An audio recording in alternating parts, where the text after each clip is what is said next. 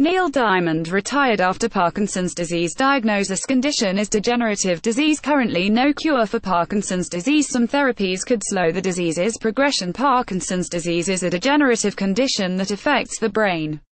There's currently no cure for the disease, but some treatments could help to reduce symptoms and maintain quality of life, the NHS said.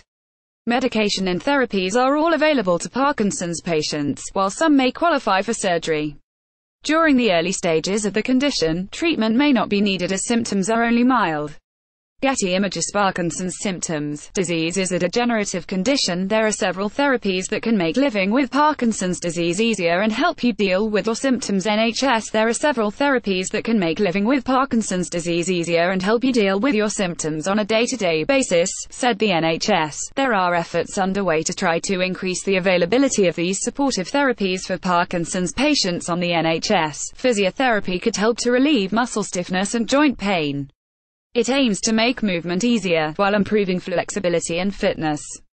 Patients often have difficulty swallowing, and problems with their speech, so speech and language therapy may help to improve these.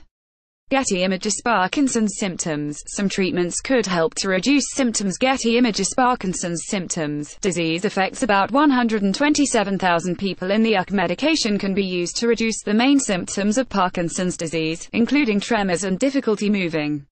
Levodopa, dopamine agonists, and monoamine oxidase B inhibitors are the main medications available but they each have different effects on different people, and the short and long-term effects vary between each medication. Your specialist can explain your medication options, including the risks associated with each medication, and discuss which may be best for you, said the NHS. Getty Images Parkinson's symptoms. Some medication can be used to reduce symptoms. Getty Images Parkinson's symptoms. Neil Diamond retired after being diagnosed with disease. Parkinson's disease can cause involuntary shaking, slow movement, and stiff muscles.